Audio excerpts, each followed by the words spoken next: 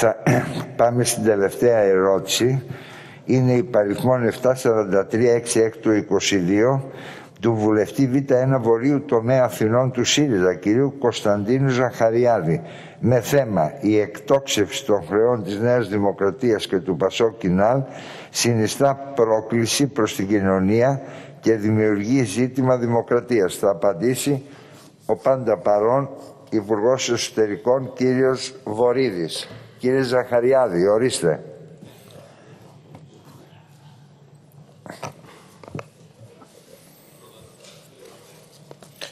Κύριε Υπουργέ, θέλω να σας ευχαριστήσω για την άμεση ανταπόκριση και θέλω να είμαι ευθύς. Το 2015 τα χρέη της Νέας Δημοκρατίας ήταν 198 εκατομμύρια. Το 16, 225. Το 17, 251. Το 18, 279. Το 19, 309. Το 2020, 343 και το 2021, 381. Σας θυμίζω τι μας είπε ο κύριος Μητσοτάκης το 2016. Μας είπε ότι 155.000 νεοδημοκράτες δίνουν ένα ευρώ το μήνα, 12 ευρώ το χρόνο, ένα εσπρεσάκι για να στηρίξουν το κόμμα.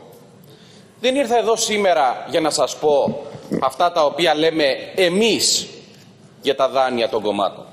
Κάνοντας την προετοιμασία μου χθες, βρήκα δηλώσεις πολιτικών που θα σας πω ποιοι είναι και τι λέγανε για τα δάνεια των κομμάτων.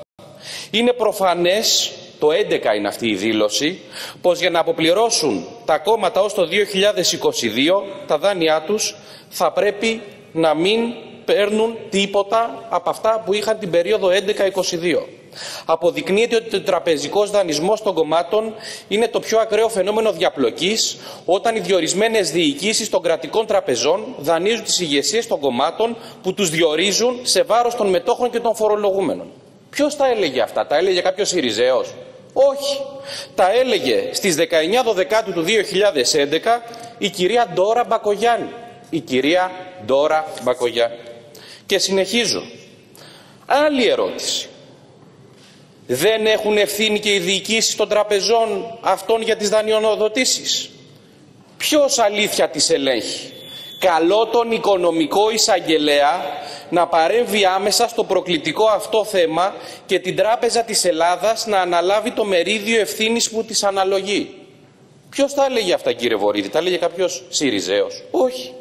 Τα έλεγε ο κύριος Αυγενάκης, ο σημερινός Υπουργός Αθλητισμού του κυρίου Μητσοτάκη ο πρώην γραμματέας της Νέας Δημοκρατίας και έλεγε, κύριος Αυγενάκης, ο κύριος Ζαχαριάδης, Δικαίως λοιπόν ρωτούν οι πολίτες πώς μπορούν τα χρεοκοπημένα κόμματα να βρίσκουν δάνεια από μια τράπεζα ακόμα και ιδιωτική, τι είδου συμφωνίες έχουν γίνει αυτή την ώρα, το προηγούμενο διάστημα πληρώνονταν κανονικά τα δάνεια που είχαν λάβει ή τα δανεικά και αγύριστα, πώς μπορούν οι πολίτες να τους εμπιστεύονται; Και Πόσο ανεξάρτητα είναι αλήθεια τα κόμματα όταν δημιουργούνται τόσο μεγάλες εξαρτήσεις από συγκεκριμένους επιχειρηματικούς ομίλους και τελειώνει κύριε Πρόεδρε, οι οποίοι είναι και μεγαλομέτοχοι στις τράπεζες που χορηγούν αυτά τα προκλητικά δάνεια, έλεγε ο κύριος Αυγενάκης και η κυρία Μπακογιάννη, κύριε Βορύδη. Κύριε Υπουργέ, ορίστε. Ευχαριστώ πολύ κύριε Πρόεδρε. Ε, υποθέτω ότι δεν φέρατε τον Υπουργό Εσωτερικών για να διευκρινίσει δήλωση της κυρίας Μπακογιάννη. Υποθέτω αυτό. Και γι' αυτό πηγαίνω σε αυτά τα οποία πραγματικά με ρωτάτε, όχι αυτά τα οποία αναπτύξατε τώρα. Αυτά που με ρωτάτε στην ερώτησή σας. Ρωτάτε λοιπόν τον Υπουργό Εσωτερικών, κύριε συνάδελφε. Σκοπεύει να αναλάβει νομοθετική πρωτοβουλία ώστε να αυξηθεί το ποσοστό από την κρατική χρηματοδότηση προς τα κόμματα που θα παρακρατείται υποχρεωτικά για την πληρωμή των χρεών τους. Αυτό μου προτείνεται να κάνω. Να αυξήσω την υποχρεωτική παρακράτηση. Θα πράξει κάτι αντίστοιχο με τη βουλευτική αποζημίωση. Αυτό είναι το δεύτερο που μου προτείνεται να κάνω.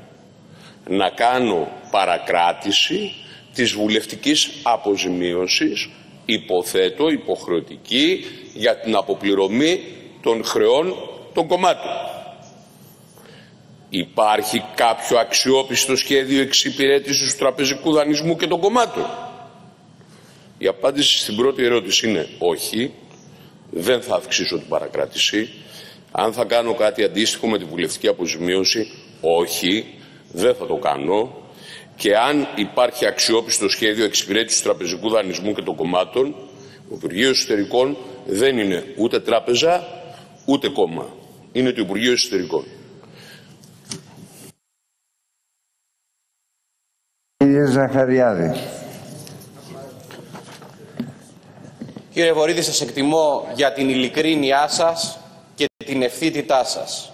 Δεν θα κάνετε τίποτα, τα χρέη θα αυξάνουν 50, 60, 70, 80 εκατομμύρια το χρόνο, θα φτάσουμε τα 390 εκατομμύρια να γίνουν ένα δις, τα χρέη του κόμματός σας είναι υπολογίσιμο μέγεθος για το ΑΕΠ της χώρας, θα τρώτε και θα πίνετε στην υγειά των κορόιδων και δεν θα κάνετε τίποτα.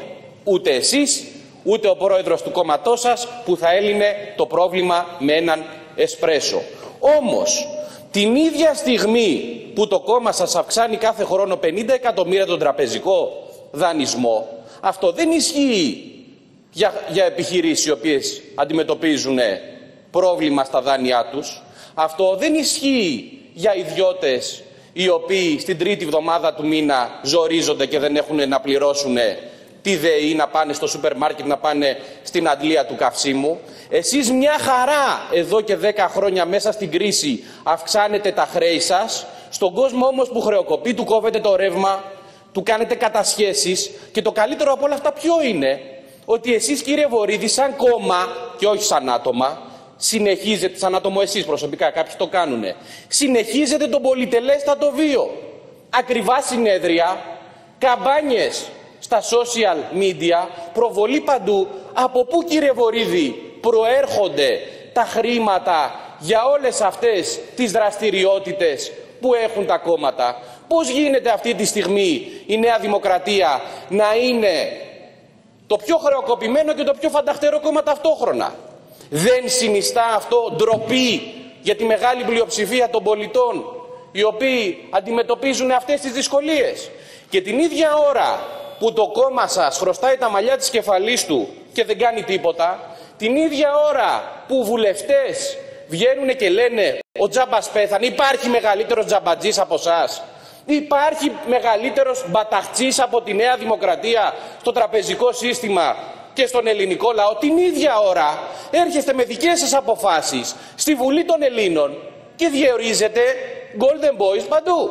Χρωστάει 380 εκατομμύρια η Νέα Δημοκρατία, δεν θα κάνει κάτι γι' αυτό ο Υπουργός των Εσωτερικών, που έχει την ευθύνη με βάση το χαρτοφυλάκιο. Ήρθε όμως ο Υπουργός Ενέργειας, ο κύριος Χατζηδάκης, και νομοθέτησε 360.000 ευρώ το χρόνο για το CEO της ΔΕΗ. Στον ίδιο χώρο γίνανε αυτά. Ήρθε ο Βορύδης και λέει δεν μπορώ να κάνω τίποτα και δεν θέλω να κάνω τίποτα και δεν θα κάνω τίποτα. Ήρθε ο Υπουργός Εργασίας, εκ του θαύματος πάλι, ο κύριος Χατζηδάκης στην ίδια αίθουσα και νομοθέτησε 4.000 ευρώ για τους διευθυντές στον ΕΦΚΑ, 8.000 200.000 ευρώ για τους διευθυντές στον ΕΦΚΑ. Ήρθε ο κύριος Γεραπετρίτης, νομοθέτησε αύξηση 70% Ωραία. στους μισθούς των μετακλητών, των μετακλητών υπαλλήλων και κλείνω με αυτό κύριε Πρόεδρε. Για πόσο καιρό κύριε Υπουργέ νομίζετε ότι μπορείτε να χρεώνετε τον ελληνικό λαό και εσείς να τρώτε και να πίνετε στην υγεία των κορόιδων. Ωραία. Τα τελευταία λόγια υποθέτω εντός εισαγωγικών τα βάζετε στον κύριο Υπουργό. Έτσι, ναι, επειδή στα, στα πρακτικά αυτά δεν φαίνονται. Έτσι, κύριε Υπουργέ. Κύριε συνάδελφε, να σας ενημερώσω τώρα για ορισμένα στοιχεία τα οποία θα καταδείξουν όχι απλώς το λαϊκιστικό της συνολικής τοποθετήσεώς σας, αλλά το θεσμικά επικίνδυνο της τοποθετήσεώς σας. Χρηματοδοτήσεις των κομμάτων.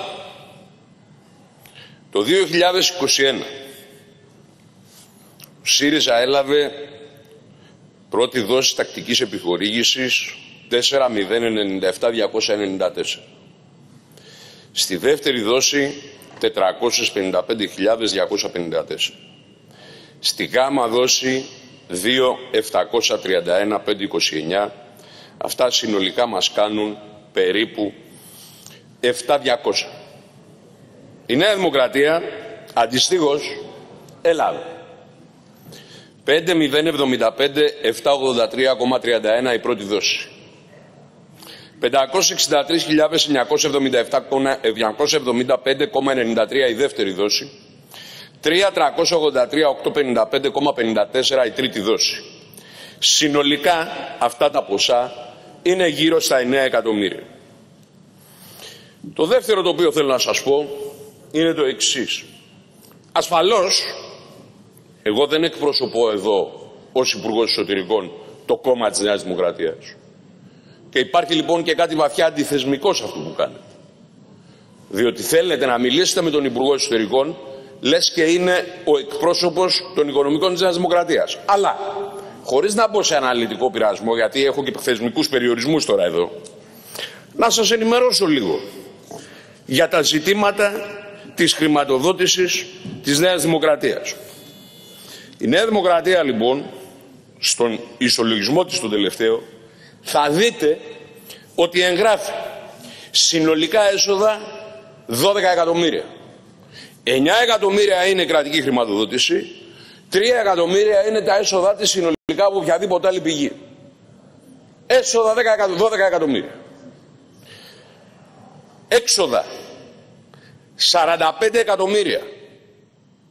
Από αυτά, το τοκοχρεολύσια 42.500.000. Θέλω να σας ρωτήσω κύριε Ζαχαριάδη, συνεχίζοντας τη σκέψη σας, από την ερώτησή σας. Να αυξηθεί το ποσοστό που τα κόμματα θα παρακρατείτε υποχρεωτικά; Θέλετε να παρακρατήσουμε το 100%. 100% κύριε Ζαχαριάδη, δεν θέλω να αφήνετε και να ολιγορείτε στην υπεράσπιση των τραπεζών. 100%. Θα κάτσουμε λοιπόν να δεσμεύσουμε 9 εκατομμύρια. Συμφωνήσαμε. Πάνε τα 9 εκατομμύρια. Δεν έχει χρηματοδότηση κρατική η Νέα Δημοκρατία. Θέλετε να κάνουμε και κάτι άλλο. Τι μου λέτε, να κάνω κάτι αντίστοιχο και με τη βουλευτική αποζημίωση. Οι συνάδελφοί μου και εσείς έχετε καθαρές απολαβές στο τέλος του χρόνου 55 με 60 χιλιάδες. Αυτό είναι οι καθαρές σας απολαβές. Δεν υπολογίζω τα έξοδα των γραφείων σας, δεν υπολογίζω τίποτα. Αυτά... Προ, προφόρου αυτά. Προφόρων, σωστά. Ναι, έτσι, Προσέξτε. μπράβο, για να μην ξεχνόμαστε. Θέλετε, Έτσι. θέλετε να σας τα δεσμεύσουμε συνάδελφοι όλα. Όλα. Δεν θα παίρνετε τίποτε. Μηδέν. Αυτό μας κάνει κύριε Ζαχαριάδη άλλα 9 εκατομμύρια. 9 και 9, μιλώ δηλαδή τα 55 χιλιάρικα επί τους 157 συναδέλφους της Νέας Δημοκρατίας. 9 εκατομμύρια. 9 και 9, 18. Υπολείπονται για να πληρωθούν οι τόκοι άλλα 24. Και πάμε τώρα στο θεσμικό.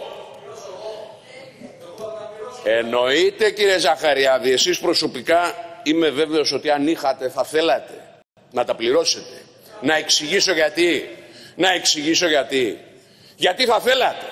Γιατί είμαι βέβαιος ότι εσείς προσωπικά, όχι αυτά που μας είπατε, γιατί αυτά υποθέτω σας βάζει να λέει το κόμμα σας.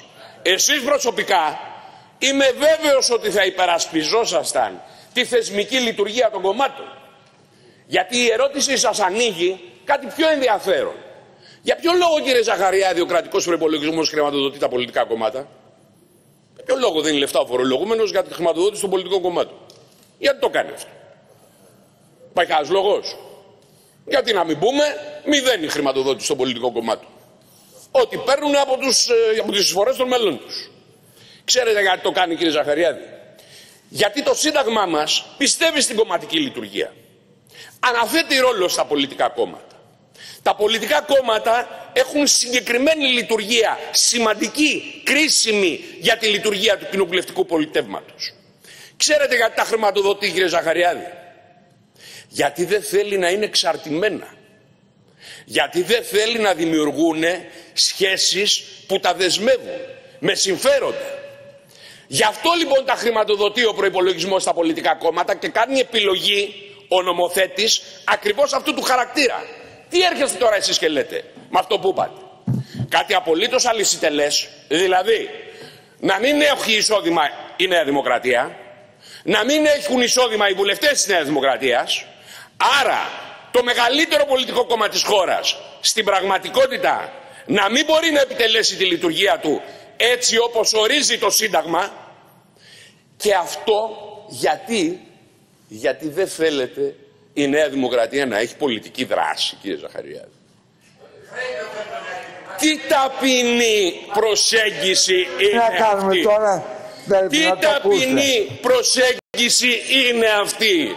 Επειδή δεν μπορείτε να αντιπαρατεθείτε, αυτό που σκεφτήκατε κύριε Ζαχαριάδη είναι να καταργήσετε την κρατική χρηματοδότηση στα πολιτικά κόμματα. Αυτό καταφέρατε να μας πείτε. Ακούστε. Ελάτε, Σας κύριε- εξήγησα λοιπόν Κύριε Βορύδη, σας ελάτε. εξήγησα και τελειώνω κύριε Πρόεδρε, ευχαριστώ πολύ.